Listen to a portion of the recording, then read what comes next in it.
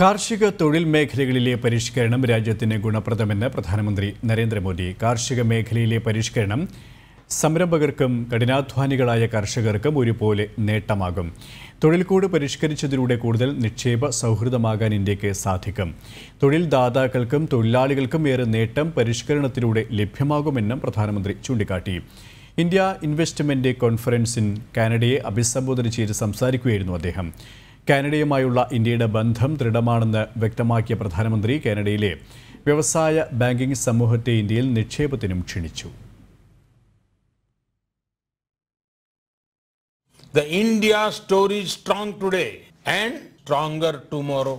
Today, India is undergoing a rapid change in mindset as well as markets.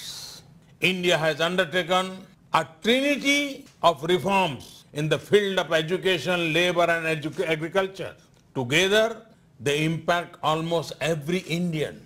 India has ensured reforms of old laws in the field of labor and agriculture. These reforms will lead to a win-win situation for entrepreneurs as well as for our hard-working people. These reforms will support our efforts to build an Atmanirbhar Bharat